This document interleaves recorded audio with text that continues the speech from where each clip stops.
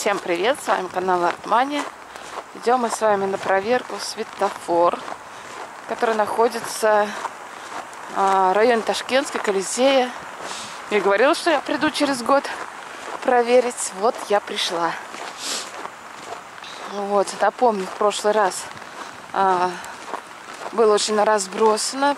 Продукты валялись на полу открытыми. Чебуреки, например, селедка на полу, помню, валялась. А, ряды очень были высокие, выше роста. 165. Блин, тут еще перешагивать надо. Жень, ну подожди. Куда ж ты пошел-то?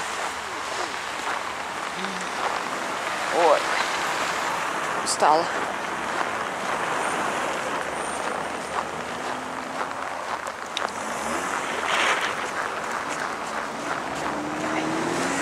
Там, кстати, он лесопарк.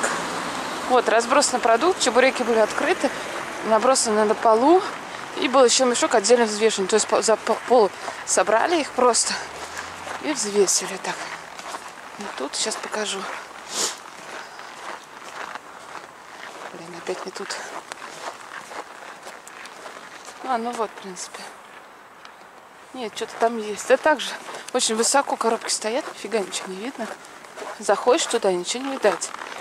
У меня рост 165, и не видно было. Посмотрим сейчас, что будет там.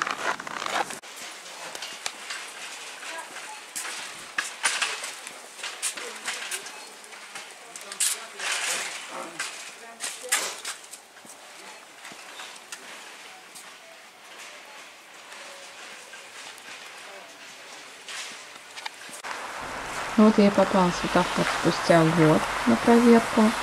Светофоры грязные, лежат протопленные коробки. Но, по крайней мере, продукты видны, и это главное. И продуктов довольно много, все на месте, все целые. Но там катакомбы, реально можно заблудиться. Как-то не просто рядами, как во всех светофорах, а как-то по-другому. С вами был канал Артмания. Подписывайтесь, ставьте лайки, пишите комментарии. И всем пока-пока.